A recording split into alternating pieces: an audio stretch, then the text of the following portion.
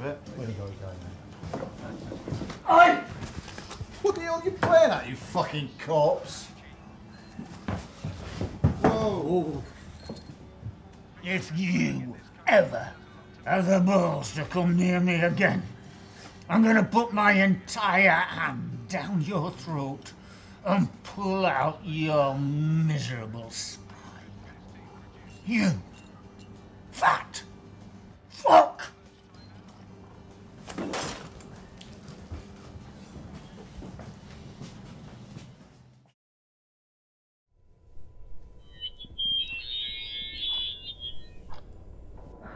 don't know why you have to do that all the time.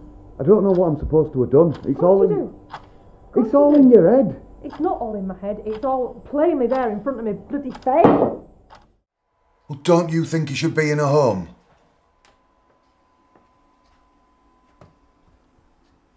Dad, what are you doing?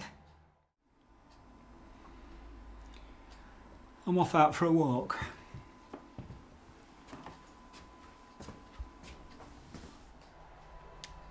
Got some new hearing aids.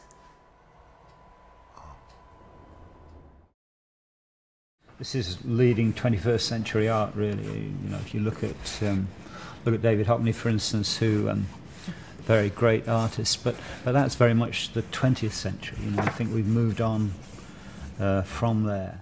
I'm comfortable in public, but I don't. I, you know, my intellectual property is being stolen all the time. People are using my image.